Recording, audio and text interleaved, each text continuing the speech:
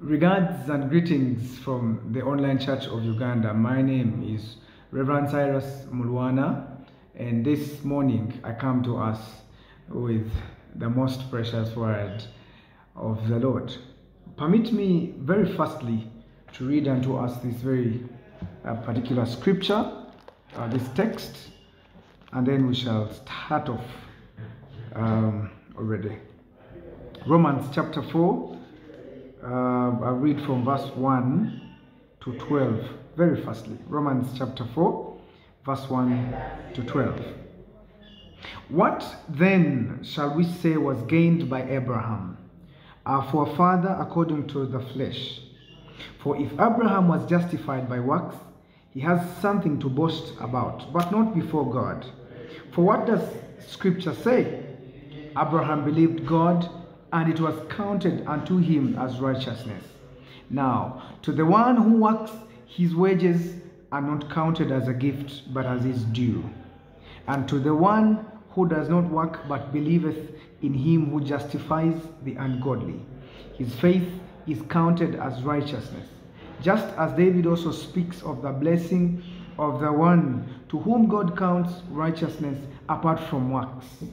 Blessed are those whose lawless deeds are forgiven and whose sins are covered. Blessed is the man against whom the Lord will not count his sin. Praise the Lord. Now, today's topic or concern is works as a sign, not a prerequisite of righteousness. Works as a sign and not a prerequisite of righteousness. Now, this morning, God is putting onto the weighing scale works and righteousness. And you will come to realize that all what we require to understand today is the goal, is the focus, the, the, the, the, the, the ultimate position of every believer out there. Let me ask a question. What is your goal? What is, as a believer, what is your goal? Now, this morning, God puts unto our table, before us, God puts the prerequisite for eternity. And according to the scripture we just read, righteousness is all what we require for all of us to inherit eternity.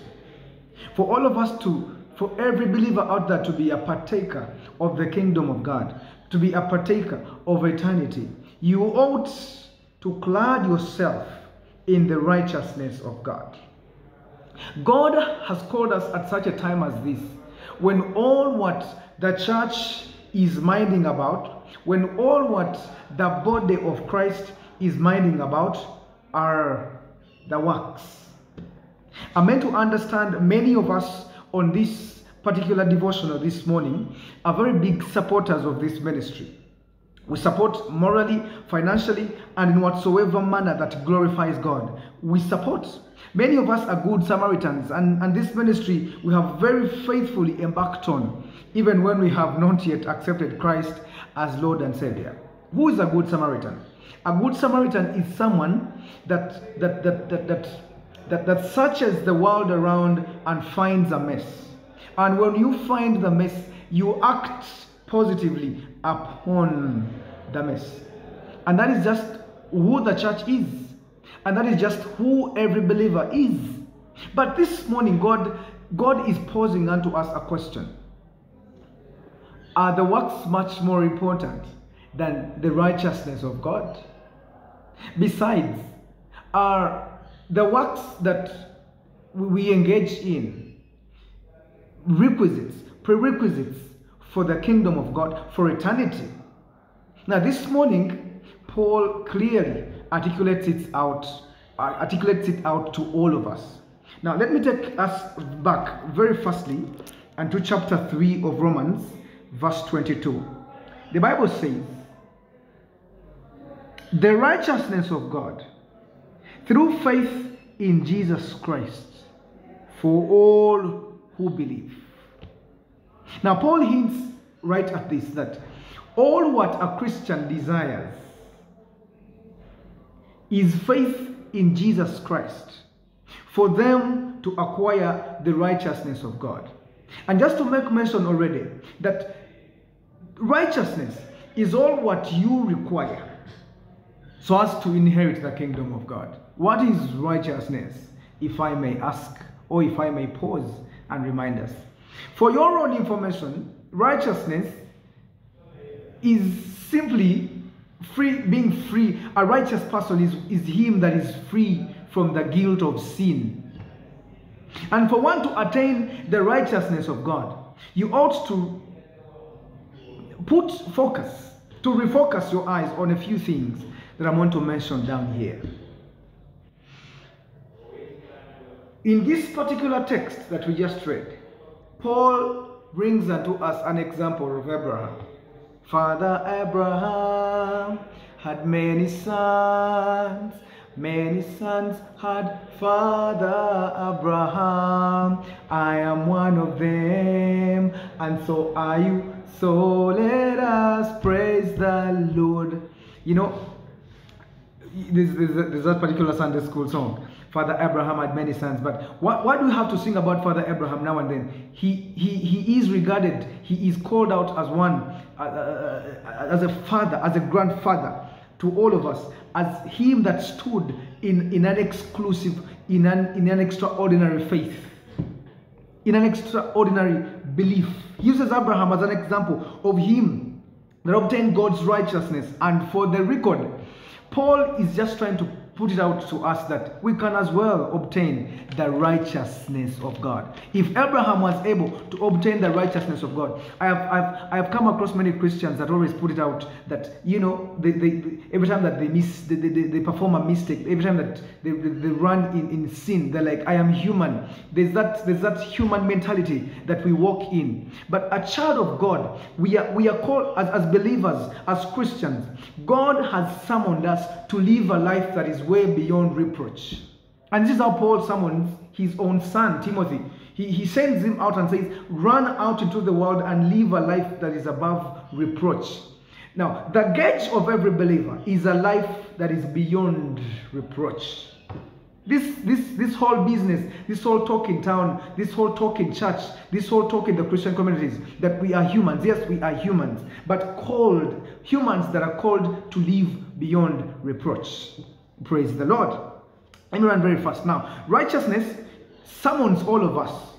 Righteous living summons all of us to live a life free from sin. And this is a prerequisite for eternity. In fact, the goal of every believer, the goal of every believer should be righteousness, so as to be heirs of the kingdom of God like I told you, many of us are sunk in works. We are choir members. We are good Samaritans. We are we are head of ladies. We we are we we are we, we are financial pros of, of, of, our, of our churches. Paul is simply saying all these are good for the body of Christ to be built, but they can never earn us eternity. Works are good. They build the body of Christ, but works can never earn you eternity. Now, Everyone is asking, what is it that earns us the righteousness of God that drives us unto eternity? Verse 1 through to 5 of chapter 4, Romans chapter 4, verse 1 to 5. Paul talks about righteousness through, through belief. He gives an example of Abraham. He, he, I mean, he attained the righteousness of God through belief. Righteousness through forgiveness, when you read verse 6 through to 8. Firstly, Righteousness we can obtain through belief. We can obtain the righteousness of God through forgiveness. And how do we attain the forgiveness of God? Repentance. Over all that the Holy Spirit brings to your attention, repent. When was the last time that you, you, you repented? Child of God, believer, fellow believer, when was the last time you repented? Verse 9 through to verse 12, he says, we can obtain the righteousness of God through faith. He still protrudes Abraham as a vivid example. What is the bottom line then? The bottom line is we all have access to God's righteousness if we, one, repent, two, run the race in faith, three, steadfastly hold our belief in God. Do you mind purposing to live the righteousness of God? What is your goal as a believer?